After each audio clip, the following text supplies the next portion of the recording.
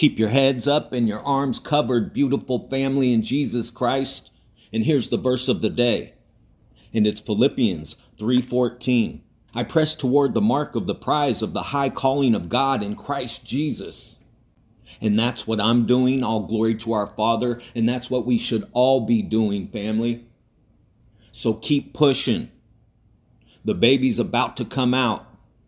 If you draw near to God, He will draw near to you. Now, real quick, before we jump into the signs and the sun, the moon, and the stars, right where Jesus Christ said they would be, as you can see right here on the Times of Israel, chaos erupts as protesters block roads, clash with police after judicial law passes. And it's all over the internet, family. Israel is approaching civil war, and some are saying it already started. And as you can see right here, it says an Israeli civil war. In the looming civil war, Israel is entering a civil war. We are going into a civil war now, says former Israeli Prime Minister. Iran media celebrates possible Israeli civil war. Well, the reason why I'm going over this is Jesus Christ is about to come and get us. Luke chapter 17, verse 26 through 30. Jesus Christ said when he comes, people will be getting married and planting and building and buying and selling and eating and drinking.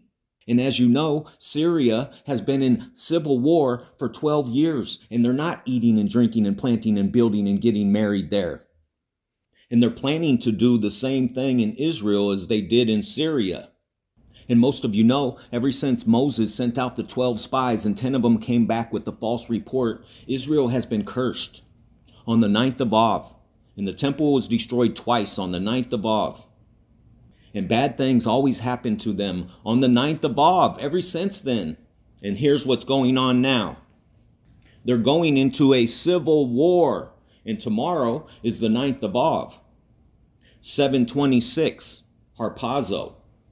So keep your heads up, family, because the rapture could happen anytime. And sudden destruction can happen anytime. And we could be caught up tomorrow on 726 Harpazo. On the 9th of Av. And that'll probably go down in history as the worst thing that's ever happened to the Jewish people. If we leave and they get left behind, it's going to be devastating for them and all knees will bow, and all tongues will confess that Jesus Christ is Lord, God Almighty. Now, on to the Revelation 12 sign that supposedly happened in 2017, September 23rd. But the stars did not fall, and the rapture did not happen.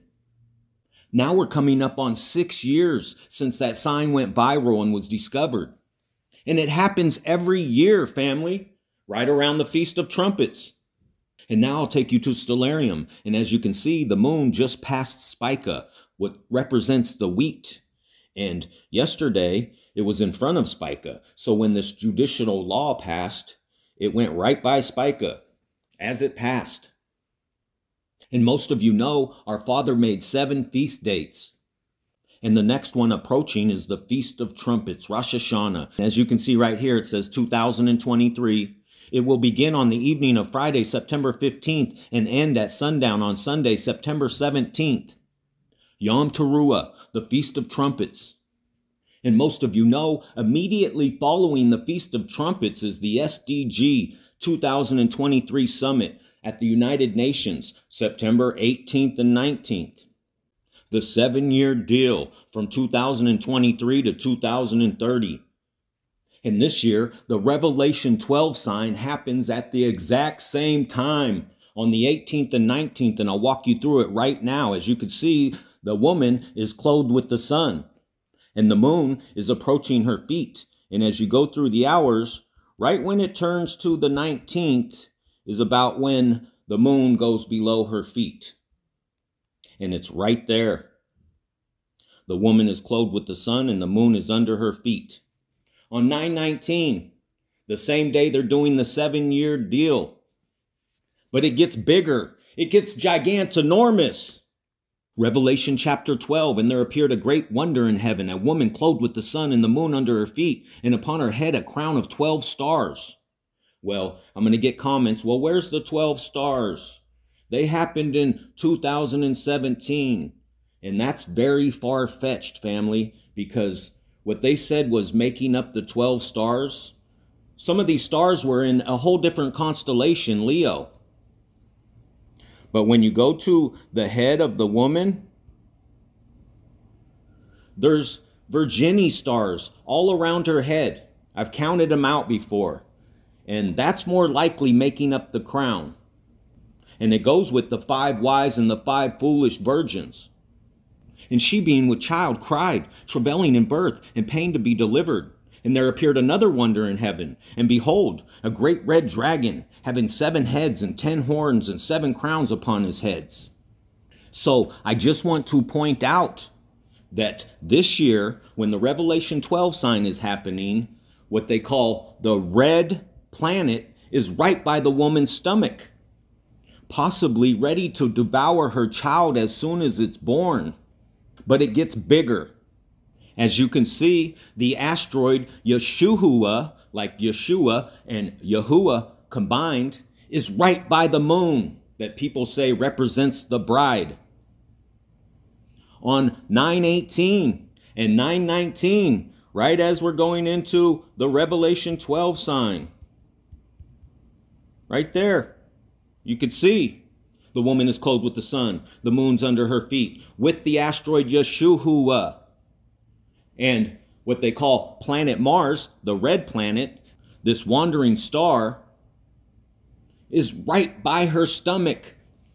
This is the best picture of what could be the Revelation 12 sign that I've seen. But it keeps getting bigger. Not only is the asteroid Yeshua right by the moon when this happens, right when they're doing the seven year deal, the asteroid America is right there too. Right at the tip of Hydra, the snake. Right next to Yeshua and the moon. And as you can see, the asteroid Iris is right there, and the asteroid Ceres is right there. They're both in the mix. Now I'll take you to Earth sky. Venus brightest now in the evening sky for 2023.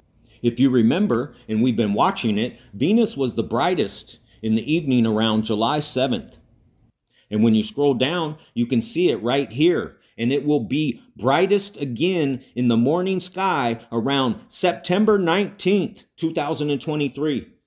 And right on that same day, 919, when the Revelation 12 sign's happening, right there, the wandering star they call Mercury is in what they call Leo, the lion. And right there, you can see what they call the bright morning star, Venus, right by what they call Cancer and Hydra. Now, here's what's so gigantinormous about that. Right when Venus is its brightest, the asteroid named after Queen Esther is right by what they call the bright morning star, Venus. At its brightest time, and the king's always his brightest when his queen is right next to him.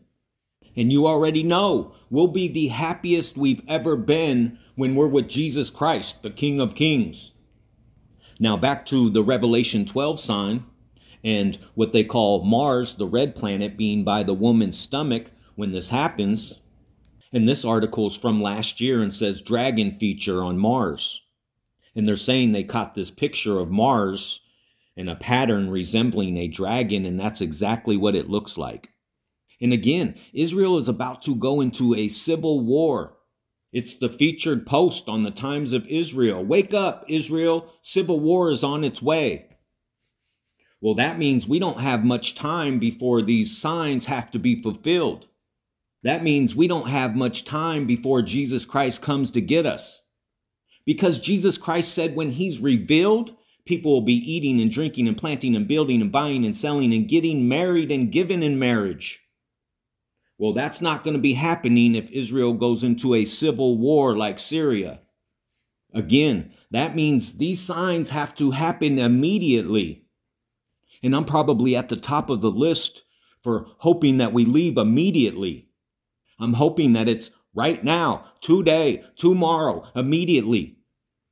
And it's high watch time right now. Israel's 10 hours ahead of us.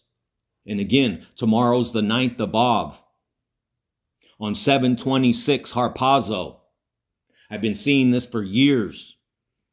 And if we're still here on August 1st, it's Tu B'Av, the day of love. And it's the second supermoon of this series of four. And you already know, tons of our brothers and sisters have had dreams of two moons during the rapture. And in August, there's two moons. And the second one, it makes it a blue moon. Now back to July right now. More and more I've been seeing Christmas in July. And I was talking with DJ Two Moons about it and he sent me this. Christmas in July is today, July 25th. And if you remember Christina's dream, 725 was there, but nobody could find 811. Everyone was panicking, freaking out, trying to find 811, but they couldn't. And here's another possible scenario, and I've showed you this. SpaceX used to be called the Red Dragon.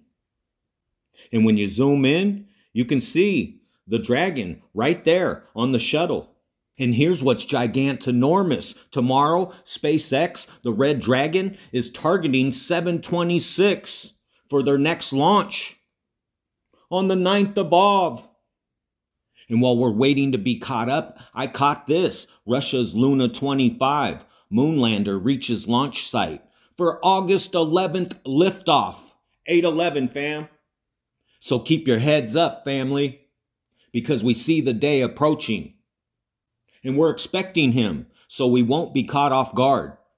Romans 8:11 But if the spirit of him that raised up Jesus from the dead dwell in you, he that raised up Christ from the dead shall also quicken your mortal bodies by his spirit that dwelleth in you. And you'll be caught up